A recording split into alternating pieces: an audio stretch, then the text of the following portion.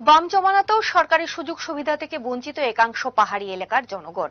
সেখানে তিপ্রামথা এডিসির শাসন ক্ষমতায় থাকলেও কোনো ধরনের সরকারি সুযোগ সুবিধা পাচ্ছেন না বঞ্চিতরা। মুঙ্গিয়াকামী ব্লকের ছত্রিশ মাইল এলাকায় অরুণ দেববর্মার পরিবারও দীর্ঘদিন ধরেই বঞ্চনার শিকার। এবারে দেখুন এ খবরে বিস্তারিত। টানা পঁচিশ বছরের বাম জমানায় পাহাড়ি এলাকায় বসবাসকারী জনগণের জীবনের দুর্বিষহ অবস্থা কারও অজানা নয়। কেবলমাত্র এই দরদি, সেই দরদি বলে রাজ্যের ভূমিপুত্রদের টুপি পরিয়ে গেছে বামেরা, যার ফলে পাহাড়ি জনপদে এখনও আদিম মানুষের মতো বসবাস করতে দেখা যায় গরিব অংশের লোকজনেদের। নেই বাসস্থান, নেই সরকারি কোনো সুযোগ সুবিধা। রহস্যজনকভাবে যারা দিন দিন বঞ্চিত, শোষিত, তারা আজও একই অবস্থায় রয়েছে। মুঙ্গিয়াকামী আরডি ব্লকের অন্তর্গত বিভিন্ন পাহাড়ি এলাকায়ও গিরিবাসীরা আজও দুর্বিসহ জীবন যাপন করেন। টানা পঁচিশ বছরের দাম্ভিক সরকারের পতনের পর রাজ্যে বিজেপি আইপিএফটি জোট সরকার প্রতিষ্ঠিত হয়, অর্থাৎ সরকার পরিবর্তন হয়েছে। কিন্তু মুঙ্গিয়াকামী ব্লকের অন্তর্গত ছত্রিশ মাইল এলাকায় অরুণ দেববর্মাদের ভাগ্যের কোনো পরিবর্তন হচ্ছে না।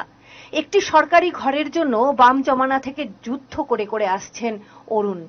কিন্তু ভাগ্যে জোটেনি এখনও জোট জমানাতেও সুযোগ পাননি তিনি। এরই মধ্যে মহারাজের তিপ্রামথার পক্ষ থেকেও ঢালাও প্রতিশ্রুতি দেওয়া হয়েছে অরুণ দেববর্মাদের। কিন্তু নিট ফল শূন্য। শুনে নিন, কি বলেছে অরুণ?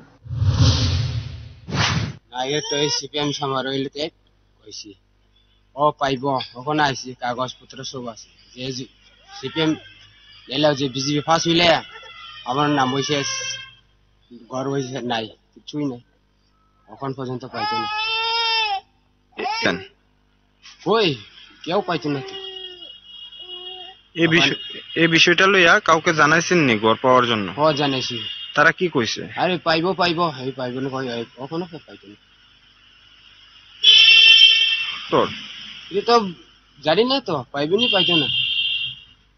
তারা কি বলছে? দিব দিচ্ছি নাকি? ওই দিব দিব দিব কয় আর এখন ফার্স্ট আরে সেকেন্ড ওই দিব। এখন তো সেকেন্ড দিত না ফার্স্ট ওই দিব। এই সকল ঘটনা থেকেই প্রমাণিত যারা বঞ্চনার শিকার তারাই অবহেলিত। আর তাদেরকে দিয়েই রাজনীতি করে থাকে রাজনৈতিক দলগুলি।